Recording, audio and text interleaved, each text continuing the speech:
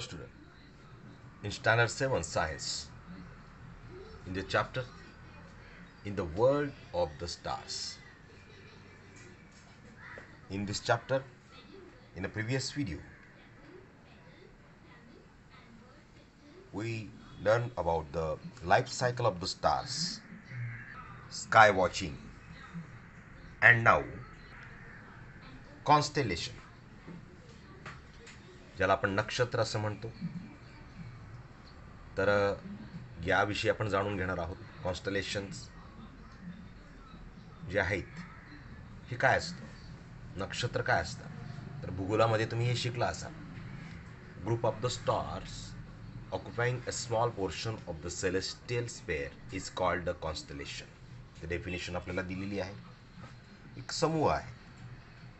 तो त्या स्पेअरमधला काही भाग जो आपण यामध्ये पाहिलेला आहे.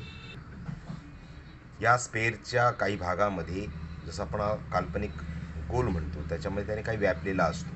ते त्या आकाशामध्ये असे आपल्याला दिसत असतात एकत्रित रूप विशेष म्हणजे त्यांचा आकार. हे एखाद्या ॲनिमलसारखाही असू शकतो. किंवा एखाद्या मानवासारखा असू शकतो. किंवा ऑब्जेक्टसारखा एखाद्या वस्तूसारखा दिसणारा असू शकतो. They form the certain figure. These figures have been named after the certain event or the belief of the time when the constellations were identified.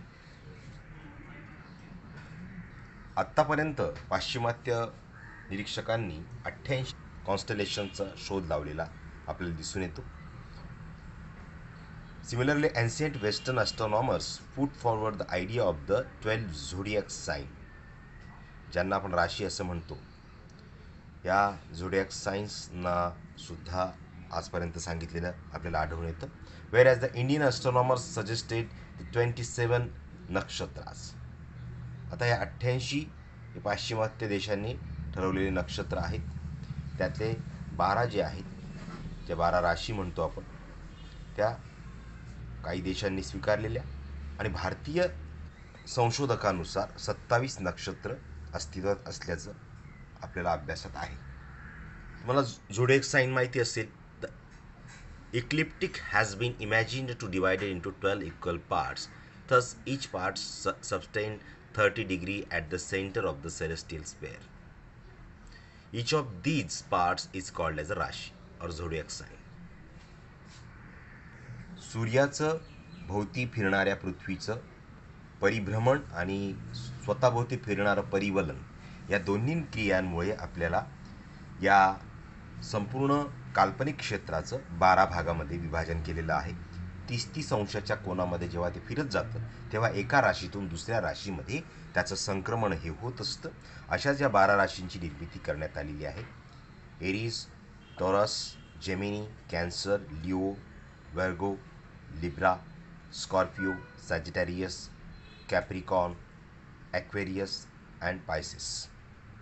ज्या आपण बारा राशी वेगवेगळ्या नावांनी आपण संबोधत असतो आपल्या अक्षरांनी वगैरे आपण त्याचा ही अंदाज करत असतो. नक्षत्राबाबतीत जाणून घेऊ. The moon completes one revolution around the earth in approximately twenty seven point three days जवळजवळ आपण महिनाभर म्हणतो आपण त्याला. तर चंद्र हा पृथ्वीच्या भोवती एक प्रदक्षिणा घालत असतो.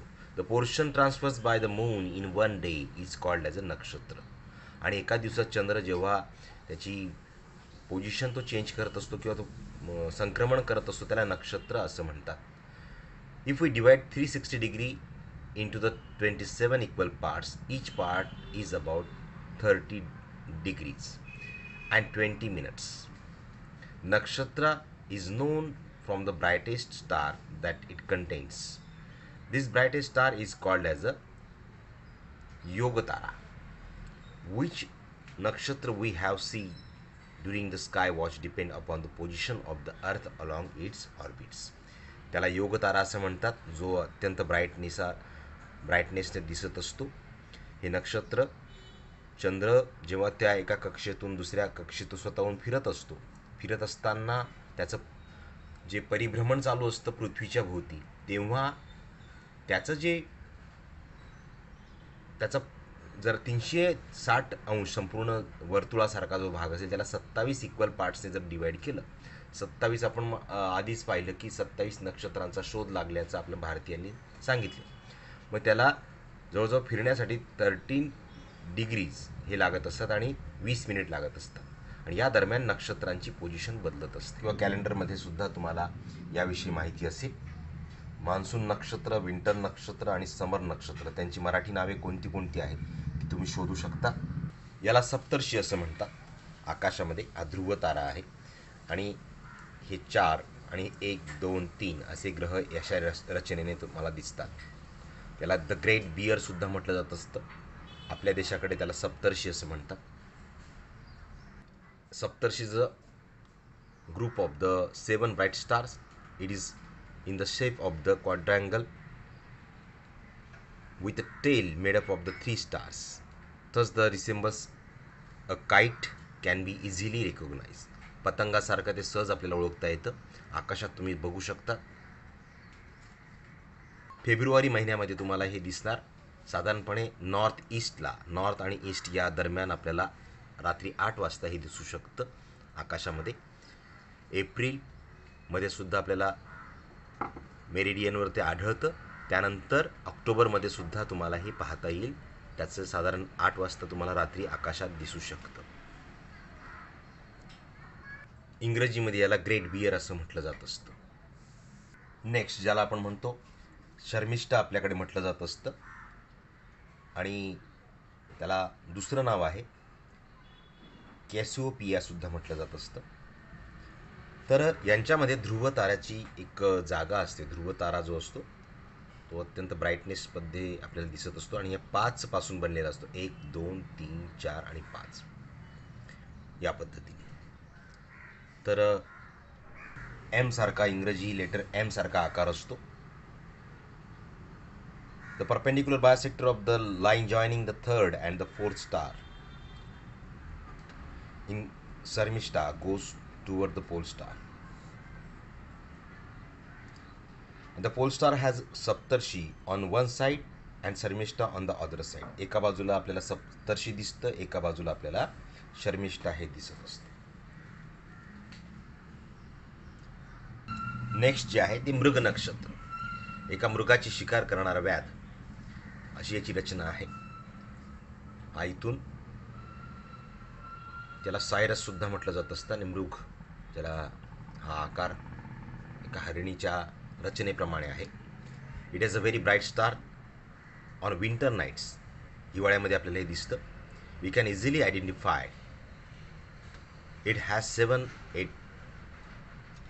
stars of which four are the corner of the quadrangle. The line passing through the three middle stars of the constellation when the extended meets very bright star where is a or the Sirius during this during the month of the December Mruga Nakshatra rises at 8 pm on the eastern horizon.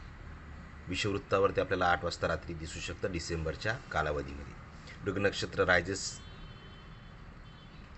it is on the meridian during the February and in June it sets around the eight P ह्या या इतर महिन्यांमध्ये सुद्धा आपल्याला त्याची position आपल्याला दिसून येते. आपण त्यावरूनच पावसाचा अंदाज हा बराचसा करू शकतो. तर आपल्याला जे आपल्याला वृश्चिक ऑर द स्कॉर्पिओ त्याला म्हणतात. विंचवासारखा आकार असतो. दहा ते बारा याच्यामध्ये ग्रह आढळून येतात. Jyeshtha or the Antares is the brightest among them the constellation is below the equator in the sky of the southern hemisphere ते आपल्याला विषववृत्ताच्या खालच्या भागाला दिसून येतं. In the third week of the April एप्रिलच्या तिसऱ्या आठवड्यात तुम्हाला हे बघायला मिळू शकतं. It can be seen in the eastern sky a few hours after sunset सूर्यास्त झाल्यानंतर काही तासामध्येही आपल्याला दिसायला सुरुवात होत असते पण आपल्याला ते निरीक्षण त्या त्यावेळेस करता आलं पाहिजे. असा एक प्रयोगशील प्रकार पुस्तकामध्ये दिलेला आहे तो समजून घेऊया. पृथ्वी सूर्याभोवती फिरत असताना कशा प्रकारची मुवमेंट करत असते? तर ते आपल्याला व्यक्तिगतरित्या आपण वर्गातले जे विद्यार्थी आहेत त्यांना अरेंज करून आपण ही पोझिशन्स अशी अरेंज करून आपण पाहू शकतो. आणि मग ह्या ज्या संपूर्ण राशी आहेत या राशींच्या रचनेप्रमाणे पृथ्वी या ठिकाणी आहे सूर्य या ठिकाणी आहे आणि मग ही एखादी राश आहे. तर तिचा प्रभाव आपल्याला राहत असतो असं आपण म्हणतो. एका राशीतून दुसऱ्या राशीमध्ये प्रवेश करताना ती जेव्हा एका कक्षा बदलत असतं ती जी मुवमेंट होत असते फिरताना ती आपल्याला या चित्रातून आपल्याला समजते. तर या बारा राशींप्रमाणे जसं आता आपण पाहतो की ही विद्यार्थिनी या फुलदाणीकडे बघत आहे पण तिला झाडसुद्धा दिसत आहे. म्हणजे त्यावेळेस आपल्याला त्या राशीचा सुद्धा आपल्याला दिसत असतात मात्र सूर्याच्या अतिप्रतिदीप्तेमुळे ते आपल्याला लक्षात येत नाही म्हणून या रचनेतून आपल्याला ते समजून मिळतं यांनाच आपण राशी असं म्हणत असतो observer looking at the sun रा sees not only the sun but also the constellation behind the sun. The constellation cannot be seen in the bright sunlight. ते कॉन्स्टलेशन जे आहे ते आपल्याला तीव्र सूर्यप्रकाशामुळे दिसू शकत नाही but it is indeed present behind the sun as the earth changes its position ते तरीही त्यामागे असतं. जसं सूर्य पृथ्वीची पोझिशन बदलते different constellation or the zodiac sign or the rashi appears behind the sun आणि मग पृथ्वी प्रदक्षिणा जेव्हा ती करत असतं त्यावेळेस त्या राशी ह्या बदलत असतात. This is what we express when we say that the sun enters a particular zodiac sign or the rashi आपण कधी कधी म्हणतो मकर राशीमध्ये सूर्याने प्रवेश केला. तर हा मुद्दा आपल्याला या चित्रातून आपल्याला समजू शकतो. जेव्हा पृथ्वी या पोझिशनला असेल when the earth is at A for observer on the earth the sun appears to be in the Scorpio आहे त्यावेळेस आपल्याला या स्कॉर्पिओपर्यंत आपल्याला ते दिसू शकतं याचा आपल्याला तत्कालीन दिसतं. त्यानंतर when the earth moves from A to B एपासून बीपर्यंत the observe will say that the sun has enter the Libra नंतर तो या स्कॉर्पिओ नंतर आपल्याला तो लिब्राकडे सरकताना दिसतो. या बीपासून आपल्याला याचं पोझिशन या ठिकाणी आपल्याला दिसत असते. तर अशा पद्धतीने ही मुवमेंट चालत असते. This motion of the sun is called as the apparent motion and the path is called as the apparent path पृथ्वीचं परिभ्रमण परिवलन या दोन्ही क्रियां मिळून आपल्याला हे मार्ग हे संक्रमण चालू असतं. पृथ्वीचं संक्रमण जे आहे ते या पद्धतीने सुरूच असतं. त्याला एक साधारण वर्ष लागत असतं आणि वर्षभरामध्ये आपल्याला या मुवमेंटला त्या दरम्यान आपल्याला वेगवेगळ्या राशींमध्ये आपल्याला प्रवेश घेता घेता घेता आपल्याला अनेक राशींचा आपल्याला संबंध येत असतो. याच काळामध्ये आपल्याला या नक्षत्रांचं सुद्धा दर्शन हे होत असतं मात्र ते त्या प्रखरतेमुळे आपल्याला लक्षात येत नाही आणि त्याचं विशिष्ट पोझिशनमध्येच आपल्याला ते दिसायला लागतात. कारण ही जी परिक्रमा आहे ही संपूर्ण पृथ्वी ही स्वतःभोवती फिरते आणि सूर्याभोवती पण अशी फिरते. तेव्हा ही सगळं क्रिया घडत असते.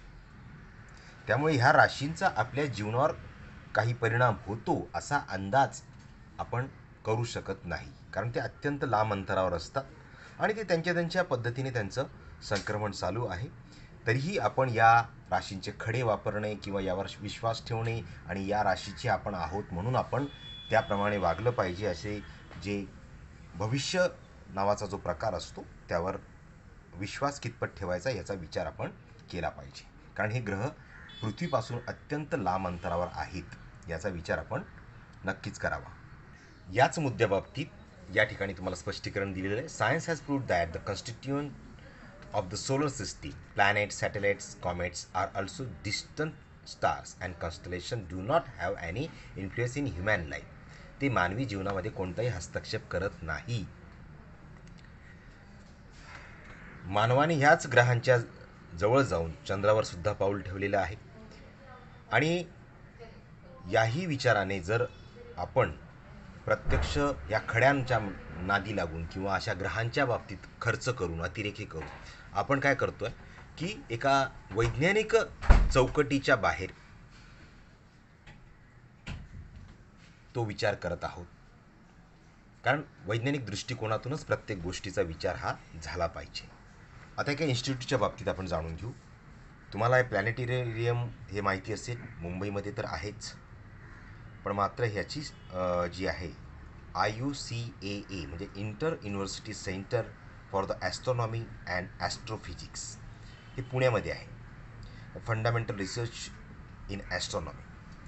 तर जवाहरलाल नेहरू यांच्या स्मरणार्थ न्यू दिल्ली बँगलोर अलाहाबाद मुंबई आणि पुण्याला न्यू इंग्लिश स्कूल पुणे या ठिकाणी तारांगण पाहायला मिळतं. त्या या सगळ्या कॉन्स्टलेशन्स वगैरे यांची सगळी माहिती जी आहे ती दाखवली जाते. आपण तो एक तासाचा कार्यक्रम सहज पाहू शकतो. आपण असं वाटतं आपल्याला की आपण सूर्याच्या जागेवर आहोत आणि सगळं आपल्याला बघता येतं. आणि संपूर्ण आपण कुठून कुठत्या पोझिशनवर असल्यावर आपल्याला काय काय दिसतं याची माहिती आपल्याला बघता येते. तर प्रत्येकाने याचा आनंद नक्कीच घेतला पाहिजे. नेहरू प्लॅनेटेरियम हे मुंबईमध्ये वरळी या ठिकाणी आहे.